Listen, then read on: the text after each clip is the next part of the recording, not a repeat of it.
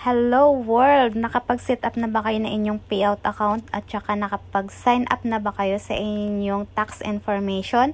Kung hindi pa, makinig kayong mabuti at ituturo ko sa inyo kung paano mag-set up ng inyong payout account at paano mag-sign up ng tax information. Siyempre guys, punta tayo sa ating profile Facebook.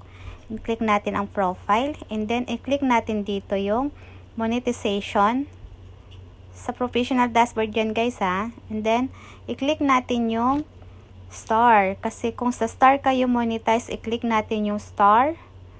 And then, i-click natin yung add payout account. So, mag-sign up na tayo dito. Ilagay natin yung ating pangalan, middle name, at saka surname, birthday, at saka yung country. Siyempre, ilagay mo dyan sa country ay Philippines. Kung Pilipino ka. Then, dito sa business enter business info, ilagay mo dyan ay Philippines, and then sa business type ay individual. Then, pagkatapos nyan, i-click mo yung next. Then, dito sa enter your info, kumpletuhin mo lang dito guys ang mga hinihingi. Name, middle name, surname, tapos birthday, complete address, tapos uh, zip code, mobile number, email address, and then i-type natin dyan yung 10 number natin kung meron tayong, tayong 10 number. Kung wala naman, unemployed yung inyong ilagay dyan. Remember guys, unemployed. Then click nyo yung check na box, then click next. And then choose how to, how you get like to get paid. So, syempre guys, pinili ko dito ang PayPal account. Ililink ko lang yung aking PayPal account. So, kung wala pa kayong PayPal account guys, pwede kayong gumawa ng PayPal account.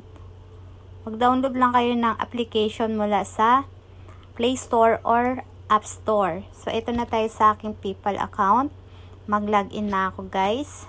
Kailangan ko muna mag-login bago ito ma ma-link doon sa kay Facebook. Ayan. Login muna tayo. Then, password.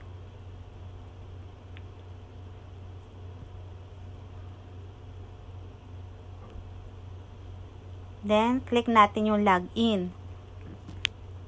So, guys, pagkatapos niyan, i-click natin yung continue. Magsisend si PayPal account natin ng code doon sa message sa uh, number na naka-register sa PayPal. And then, eto na guys. Naka-login na ako. Then, naka-link na yung aking PayPal payout account. Hintayin lang natin siyang matapos.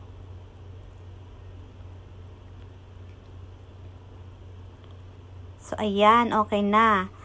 Add your tax info. So, mag-sign up naman tayo ngayon sa tax information sa ating tax account.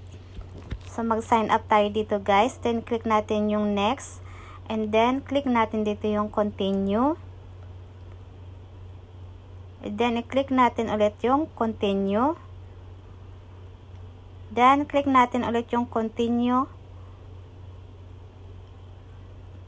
Then, click ulit ng continue. O, ba diba? Nakailang continue tayo. So, guys, dito, ang ipipil, ang i-click nyo lang, ang lalagyan nyo lang ng check ay ang no. Dalawang, ne, dalawang no dito, guys. Kasi hindi naman tayo mga Amerikano. Tayo ay Pilipino. Then, click next. And then, dito sa select one, kailangan i-select mo dyan. Maglagay ka ng bansa na Pilipinas. Philippines ang ilagay nyo dyan, guys. And then, hanapin natin. Click nyo lang yung arrow doon sa gilid. Lalabas na itong mga bansa na ito pagpipilian nyo. Siyempre kung Pilipino ka, Philippines ang ilagay mo dyan.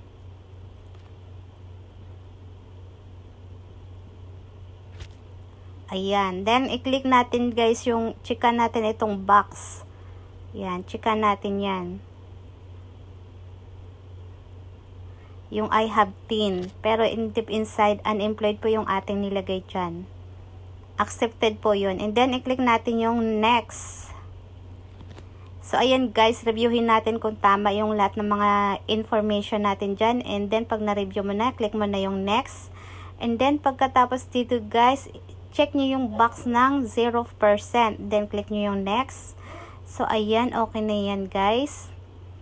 Then, pagdating dito sa baba, maglalagay kayo ng complete name ninyo kasi uh, ito yung katunayan na sarili mong account ito at ikaw talaga ang pumirma dito at hindi ka nagpautos lamang. So, ilagay mo yung complete name mo dito, pangalan, middle name, tsaka apelyido. And then, check mo yung box. And then, click next.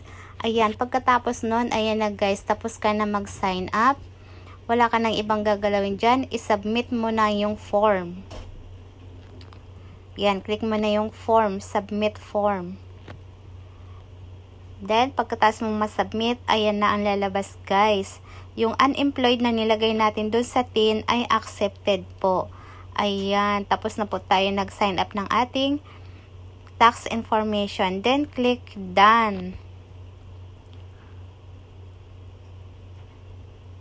So, check natin. Ayun lamang guys, ganun lang kadali mag, ano ha, mag sign up ng payout account at ng tax information. Sana po nasundan ninyo ang aking tutorial. Follow me for more tips. Kung nagustuhan ninyo ang video ito, pa-heart, pa-comment at pa-share na din po. Maraming salamat. See ya until next time po. Bye!